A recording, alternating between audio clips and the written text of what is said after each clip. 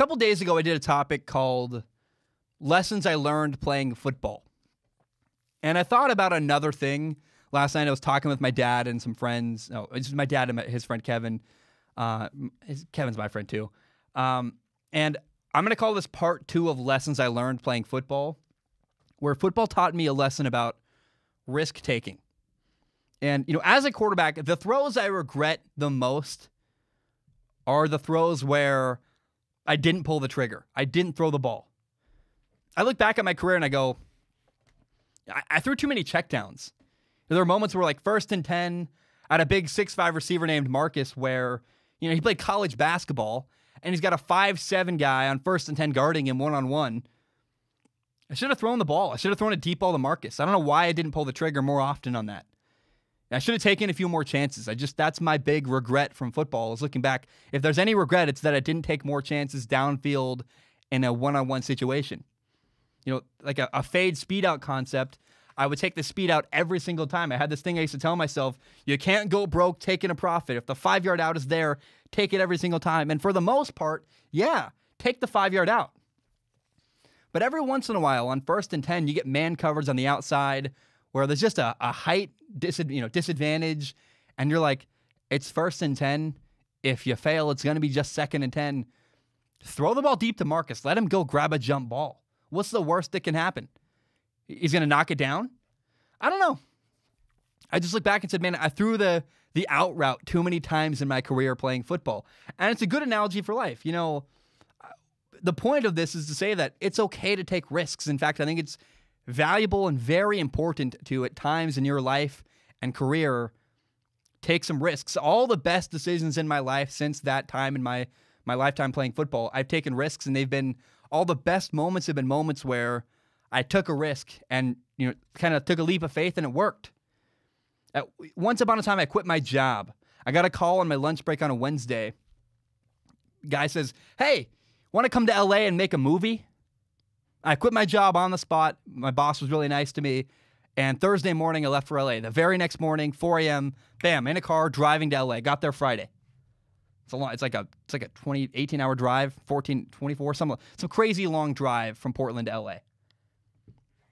then when I was in LA, doing well, had a pretty nice life there. Um, like not great, but like working on a movie. I'm in part of a crew. It's really fun. Um, I left that good opportunity in LA partway through to go to college. The benefit of college for me was I could take out a loan, meaning I didn't have to pay for it at the time. I could pay for it later. And I could have a room where I could stay for what felt like for free, even though it wasn't. I had a room where I could stay and live and make YouTube videos. And guess what? What we're doing now? I have a place where I make YouTube videos, and it's my. It's, I'm not in college. It's my full time job because at one point I took another risk. I left college and had enough money making YouTube. I said, I'm going to do this full time. I don't need my degree. Let's just make YouTube videos and keep doing it.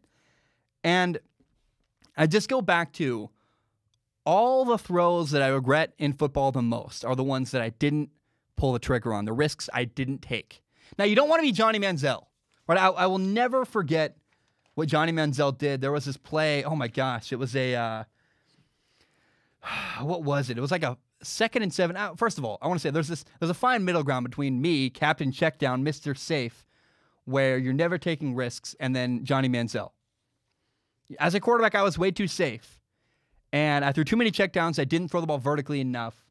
Johnny Manziel was completely the opposite, where Johnny Manziel was throwing balls up in the middle of the field against Alabama in a triple coverage, just getting lucky. And here's what I'll say: I'll never forget the Chick Fil A Bowl Duke versus Texas A&M. I, I, I think I think it was second and seven. Johnny Manziel catches a snap. He's got a, a dig right over the middle, like a 15 yard gain, wide open in the middle of the field, and he doesn't throw the ball. He looks at it, he goes, nah. He like takes a step back, tries to run forward, runs into a lineman, jumps on the guy's back, reverse pivot, spins out, extends a play to the left, throws the ball downfield for a touchdown, and you're like, what was that? Johnny Manziel broke every single rule of playing the quarterback position. You had a guy open for 15 yards, take it. And instead, he took this crazy risk, runs around, extends a play, throws a touchdown. And you're like, well, I guess, I mean, look, that's stupid and lucky and amazing. So there's that fine middle ground again between me, Mr. Safe Captain Checkdown, my playing career where I didn't take enough chances. And then there's that you also can't take risks like Johnny Manziel, where Johnny Manziel is just reckless. But there's that middle ground where I really believe you got to be willing to take some risks in life where it just it's incredibly important. Some risks are worth taking. And I learned that from football. Again, the only throws I regret from my playing days are the throws I didn't make, where I had man-to-man coverage downfield and I didn't pull the trigger. That's my, my the other lesson I learned from football. Take risks. It's okay. I encourage you. It's fine. Maybe I'll do a follow-up at some point, a part three.